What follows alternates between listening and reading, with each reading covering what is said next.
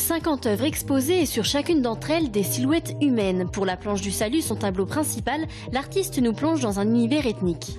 Il s'agit d'un rituel imaginaire qui se passe en Afrique et dans lequel la présence de grands guerriers Maasai très effilés, ainsi que le lieu de ce rituel à travers ce, pastel, le pastel sec se passe à la main, une sorte de caresse dans la terre africaine, imaginaire, on va dire.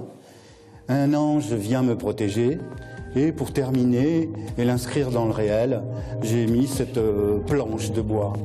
Sa technique, la transposition picturale ou l'art de voyager dans plusieurs dimensions. Tirant son inspiration de l'histoire de l'art, il utilise différents aplats, des surfaces de couleurs pour exprimer ses états d'âme. Toutes les techniques aussi d'expression contemporaine, donc que ce soit dans la calligraphie, l'idée du zen, l'idée du vide. Ensuite, j'aime beaucoup le symbolisme des matières aussi le soleil, donc transposé ici de la feuille d'or.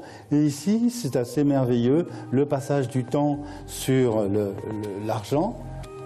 De l'argent pour représenter la lune, du bois pour symboliser son autoportrait et du fer pour passer de l'univers paradisiaque à celui de l'enfer.